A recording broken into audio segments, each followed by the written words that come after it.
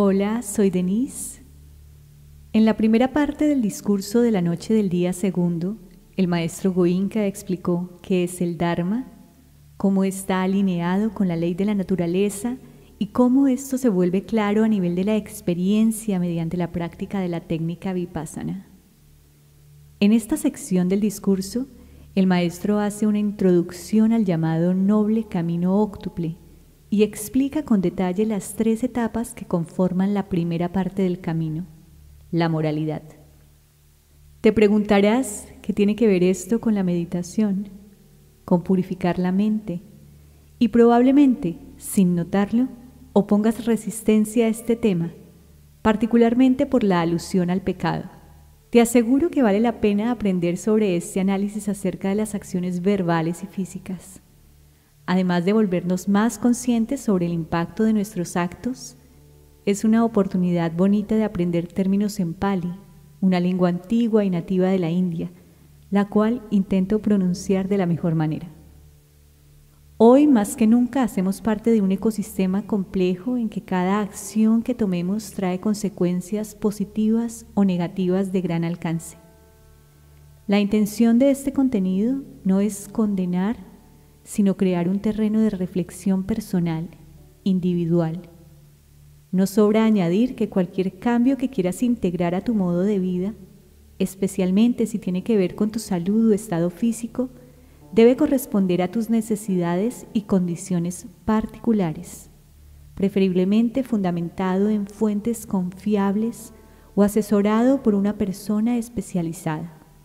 Con seguridad, si estás escuchando este audio, estás haciendo cada vez lo mejor que puedes, paso a paso. Luego de esta introducción, continúo con el discurso del día segundo. La primera parte del Dharma, abstenerse de hacer acciones pecaminosas, se llama Shila, vivir la vida de la moralidad, ejecutando acciones provechosas. Y la primera acción provechosa es ser el maestro de tu mente, no un esclavo de ella. Aprende a concentrar tu mente unidireccionalmente, con la integridad o inocuidad como base sin tener algo en contra de alguien, rabia, odio, rencor. Esta es la acción más provechosa. Cuando uno comienza a andar el camino, se vuelve cada vez más claro que esta enseñanza es universal. La primera parte del camino se llama Shila, la segunda se llama Samadhi y la tercera, la purificación de la mente, se llama Paña. Paña significa sabiduría visión cabal, experiencia directa de la verdad interior y desarrollo de la sabiduría de la ley, de la ley universal. Es cambiar el patrón habitual de comportamiento de la mente al nivel más profundo. Volviendo al primero, Shila, la moralidad. En un principio uno comienza a entenderlo a nivel intelectual Sí, no debo hacer ninguna acción a nivel físico o verbal que pueda dañar a otros seres. Por ejemplo, si alguien viene a golpearme, a matarme, por supuesto, a mí no me gusta. Entonces, si voy a golpear o matar a alguien, a esa persona no le gustará. Entonces, no debo hacer algo que no quiera que otros hagan conmigo. No debería matar. Esto puede perjudicar o herir a otros. Si alguien roba algo que me pertenece y es muy importante para mí, no me gusta, me siento herido. Por lo tanto, no debería robar nada que le pertenezca a otra persona. Esto va a herirla. No debería hacerlo. Alguien viola o tiene una relación sexual ilícita con un miembro de mi familia, no me gusta. Eso hiere. Por supuesto, no debería hacer lo mismo. Otros pueden resultar heridos. Alguien dice mentiras y trata de engañarme. No me gusta. No debería mentir ni engañar a otros. Alguien dice palabras crueles. No me gusta. No debería decir palabras crueles a otros. No les gustará. Y ahora entiendo y todos entienden que uno no debe hacer esto o lo otro, pero cuando uno se intoxica con una droga o con un licor, uno está desamparado, se vuelve esclavo de esa intoxicación particular. Y uno hace todas las acciones que uno no quiere hacer y aún así las hace. Entonces no debería tomar ningún tipo de sustancias intoxicantes. Esto es lo que uno entiende al nivel superficial de la mente, a nivel intelectual. En otras palabras, uno comienza a entenderlo a un nivel un poco más profundo, aunque todavía a nivel intelectual. Un ser humano, como ser social que vive en una comunidad, con los miembros de la familia y otros, si se la pasa haciendo acciones que distorsionan la paz alrededor, creando discordia en todos lados, perturbando la paz en todas partes, ¿cómo puede esta persona disfrutar paz y armonía? Si enciendo una hoguera a mi alrededor y todo lo que me rodea es fuego, ¿cómo puedo esperar sentir tranquilidad dentro de mí? No es posible. Entonces, tengo que ayudar a que el ambiente se mantenga pacífico, tranquilo, y solo entonces, viviendo en ese ambiente, puedo tener paz y tranquilidad. Sí, eso es claro, pero el Dharma se vuelve realmente claro cuando uno comienza a practicarlo. Una persona iluminada nos lleva a esa profundidad en la que se comienza a experimentar la ley de la naturaleza. Será muy claro con la experiencia propia que no puedo hacer una acción física o verbal que le haga daño a otra persona, a menos que haya desarrollado una gran cantidad de negatividad en mi mente. No se puede matar a alguien a menos que se haya generado antes odio, rabia, hostilidad, rencor. No se puede robar nada a menos que se haya generado avaricia, no se puede tener una relación sexual ilícita a menos que se haya generado pasión. El ego, los celos o cualquier otra impureza que se vaya generando en nuestra mente nos puede llevar a cometer una acción física o verbal que puede herir a otros. Alguien que va por el camino Dharma lo va a comprender a través de su propia experiencia y también comenzará a entender que la naturaleza no quiere que se genere ninguna impureza en la mente. Rabia, odio, mala voluntad, pasión, miedo, egos, celos, avaricia. Eso va en contra de la ley de la naturaleza. Y la naturaleza comienza a castigarme. Obtengo el castigo aquí y ahora. Luego de la muerte, el castigo vendrá, no vamos a decir que no lo creemos, pero dejémoslo de lado. Seremos castigados aquí y ahora. Cada individuo que comience a andar el camino se dará cuenta cuando la naturaleza lo comenzó a castigar, porque cuando uno genera rabia, se vuelve muy agitado, muy infeliz, muy desdichado. Es imposible que uno genere negatividad y se sienta muy pacífico lleno de tranquilidad. Es imposible. Estoy obligado a volverme agitado. La ley de la naturaleza es así. La naturaleza comienza a castigarme. Si me abstengo y me distancio de ese tipo de actividades y no genero esta negatividad en mi mente, la naturaleza comienza a premiarme. Siento mucha tranquilidad. Se vuelve muy claro que esta es la ley de la naturaleza. No dañes a otros, no hagas ninguna acción a nivel físico o verbal que pueda perjudicar a otros, porque además en ese momento no sabes que estás comenzando a herirte a ti mismo. Eres la primera víctima de tu acción. ¿Quieres matar a alguien llevado por la rabia? Cuando generas rabia serás castigado en ese lugar y momento. Eres la primera víctima de tu propia rabia de tu propia deshonra. Se vuelve cada vez más claro para alguien que va por el camino del Dharma. Entonces, a nivel de la propia experiencia de la verdad interior, el patrón de comportamiento, la manera de vivir, comienza a cambiar automáticamente. Porque todas las veces que no se experimenta la verdad interior, sino que se le da importancia a las cosas externas, al exterior, Uno no sabe cuándo comenzó la naturaleza a castigarme ni a premiarme. Uno no sabe nada. Ahora, con esta práctica que aprendemos durante estos 10 días, se volverá mucho más claro. Y cuando esto se vuelve claro a nivel de la propia experiencia, no meramente a nivel intelectual, no a nivel de devoción porque Buda lo dijo o el fundador de una religión lo dice o las escrituras dicen esto, eso no funciona. Se hace claro a nivel de la propia experiencia, de la experiencia directa. Eso es como cuando pones las manos en el fuego y la mano se quema. Ahora ya sabes, tocar el fuego me hace daño. La próxima vez no lo hago. No me gusta que mi mano se queme, por lo tanto me mantengo lejos de eso. Comienzas a experimentar dentro de ti en lo más íntimo que cuando hieres a alguien antes de que lo hagas, comienzas a herirte a ti mismo, comienzas a arder por dentro. El fuego del infierno interior comienza a quemarte aquí y ahora. Y cuando haces una acción integral, algo que ayuda a los demás, el reino del cielo adentro. Comienzas a disfrutar la paz, la paz y la tranquilidad del reino de los cielos al interior. El infierno está adentro. El paraíso está adentro. Y esta experiencia ayuda a practicar Dharma correctamente. Abstente de cualquier acción nociva. Haz acciones íntegras. El camino se explica en detalle, cómo caminas paso a paso.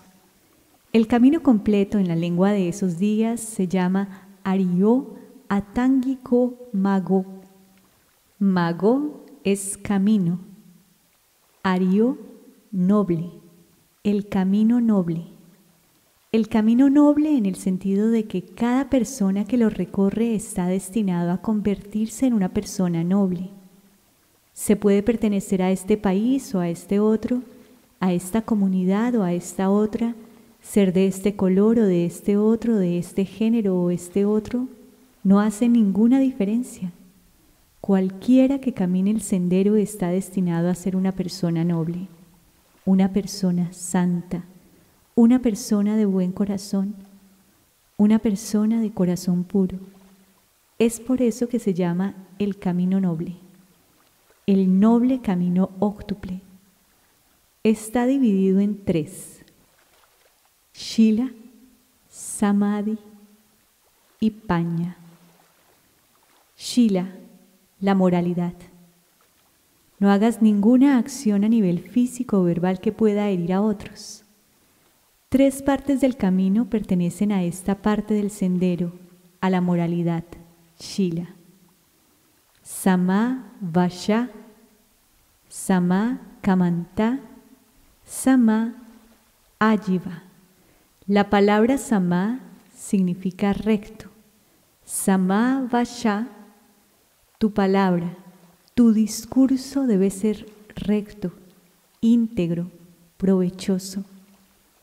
¿Cómo sabes qué es sano o qué es perjudicial?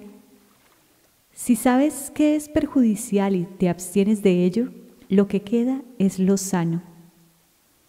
¿Qué es perjudicial? Relacionado con la palabra, con tus acciones verbales. Te abstienes de mentir eso es insano. Te abstienes de decir palabras dañinas que hieren a los demás y no ayudan a nada. Te abstienes de murmurar. Dos personas son amigas y escuchas algo más sobre esta persona y luego le dices algo a esta otra persona. Quiebras su amistad, las conviertes en enemigas. Has cometido una acción insana. O si solamente dices palabras sin sentido, calumniosas, palabras inútiles que te quitan tu tiempo y el de los demás. Estas son acciones verbales insanas. Abstente de todo eso y lo que resta son las acciones integrales, sanas, beneficiosas. Sama Vacha, acciones verbales provechosas. Los siguientes son Sama Kamanta, acciones físicas rectas. Se aplica la misma norma. Cualquier acción que pueda herir o dañar a otro es una acción perjudicial. Mantente alejado de eso. Lo que queda es íntegro. No mates, no robes, no tengas relaciones sexuales ilícitas, no consumas ningún tipo de sustancias tóxicas. Si te abstienes de eso, todas tus acciones físicas son sanas automáticamente. Lo que queda es provechoso. Samá Ayiva, medio de vida recto. A menos que se sea un monje, una monja, un recluso o un ermitaño, en cuyo caso todo se ha dejado atrás, todo y no se conserva nada para sí, es necesario tener un medio de vida. De una cabeza de familia no se espera que deje todo atrás y salga a pedir limosna. Tiene que trabajar para conseguir un modo de vida y trabajar duro y honestamente sin herir a otros. Aquí se usa la misma vara de medida. Tu profesión, tu ocupación tiene que proveerte una remuneración pero sin herir a nadie. Si obtienes muchos beneficios de tu negocio y ese negocio está haciendo daño a otros, no es samá ayiva, no es un sustento recto. Si tu modo de ganarte la vida es tal que motiva a otras personas a romper su shila, su moralidad y perjudicar la paz y armonía de otros, no es un medio de vida correcto. Por ejemplo, alguien comienza a hacer un negocio de armas, municiones, balas, consigue mucho dinero, obtiene muy buenas ganancias, pero cada persona que compra lo usará para matar a otros. Esta no es una forma correcta de ganarse la vida. Alguien negocia con animales y dice, pero yo no mato, otro lo hace, pero motivas a otros a hacerlo. No es una forma correcta de ganarse la vida. Se puede comerciar con animales, hacerlos crecer y llevárselos al carnicero para que los mate y decir, él mata, yo no. No, pero estás promoviendo un sustento que no es recto. Alguien que negocia con venenos, cualquiera que los compre los usará para matar a otros. No es un buen estilo de vida. Esto aplica a todo. Si aquello con lo que negocias motiva a otros a romper su shila, no es un modo de vida correcto. Incluso algunos modos de ganarse la vida parecen íntegros, pero si la motivación es incorrecta, se convierten en perjudiciales. Un incidente en mi vida. Hace años, cuando no estaba en contacto con el Dharma puro, no sabía cómo observar cosas al interior y a pesar de todo yo me sentía una persona muy dármica, una persona muy religiosa porque hacía ritos, esta donación y esta otra, pero no conocía el Dharma puro. Sucedió que un miembro de la familia se enfermó gravemente y el doctor de la familia estaba fuera. Llamé a otro doctor. Él era muy famoso y ocupado y me pregunté si estaría de acuerdo en hacer una visita domiciliaria. Fui personalmente para persuadirlo. Usualmente su consultorio estaba lleno de personas, pero en ese momento no había nadie. Por supuesto, eso me hizo feliz porque tenía más posibilidad de que viniera conmigo. Por curiosidad le pregunté, ¿Cómo le va, doctor? Generalmente hay una gran fila de pacientes en su consultorio, pero hoy no hay nadie. Con una cara muy larga y triste me dijo, Coenca, en esta estación, durante este tiempo del año, siempre hay una epidemia después de la otra. No sé qué pasa este año. No hay epidemias. Me sentí tan mal. Qué profesión tan noble, una profesión de médico, de lo físico, para servir a los demás, para que salgan de la enfermedad. Y miren su motivación, quería que las epidemias comenzaran. No todos los médicos son de esa manera, no debemos condenar a todos los doctores, pero ese fue el caso y me sentí muy mal. Pero en ese tiempo no sabía cómo ver la realidad al interior. Mientras uno no sepa ver la realidad al interior, uno se la pasa mirando las fallas de los demás. Este y esta son malos, esto y eso está mal. Cuando comencé esta técnica, observando la verdad al interior, me di cuenta que yo era peor que el doctor. Vengo de una comunidad de comerciantes. Conozco muy bien a la gente de negocios y sus motivaciones y tenemos nuestro propio vocabulario. Supongamos que hay una guerra o una hambruna.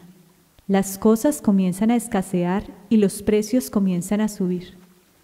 En nuestro lenguaje, en el lenguaje del comercio, diríamos, el comercio está mejorando, el mercado está mejorando, maravilloso, los precios son más elevados, las ganancias son mejores, lo que sea que tengamos almacenado nos hará ganar aún más.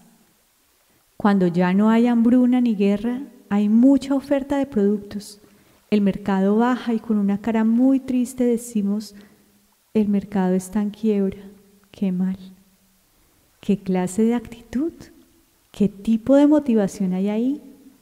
No nos importa si la gente sufre o no, solo queremos conseguir nuestro dinero. Uno no alcanza a entender esto hasta que comienza a observar la verdad al interior. Uno se involucra tanto que queda sumergido en esa insensatez. No hay nada malo en hacer negocios. Uno puede conseguir dinero sin hacerle daño a los demás. Uno tiene que comprender que está jugando un papel, un rol importante al servir a la comunidad de una manera particular. Si uno se mantiene pensando que al ejercer esta profesión estoy sirviendo a la comunidad y a cambio recibo mi remuneración de la sociedad, entonces servir a la sociedad se convierte en lo más importante. La remuneración vendrá con seguridad. No hay nada malo. Un hombre de negocios le compra una manufactura y distribuye la mercancía al consumidor. No hay nada malo allí. Cada consumidor no puede ir a la fábrica a comprar sus requerimientos, necesita de un intermediario. Pero si este intermediario comienza a pensar, estoy aquí para explotar y obtener dinero, entonces esta creciente de dinero lo volverá loco. Eso está muy lejos del Dharma. Sama Ajiva quiere que tengas una buena relación una buena motivación con el dinero sin hacerle daño a nadie. Cada miembro de la sociedad juega su rol de servicio de acuerdo a sus capacidades.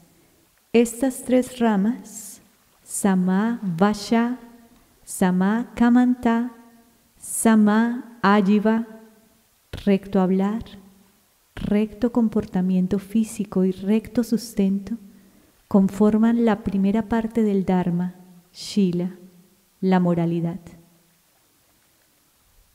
En la tercera y última parte del discurso del día segundo, el maestro Goinka explica el segundo trayecto del Dharma, Samadhi, sus divisiones y los cuatro ejercicios del Dharma para examinarte a ti mismo. Feliz día, Denise.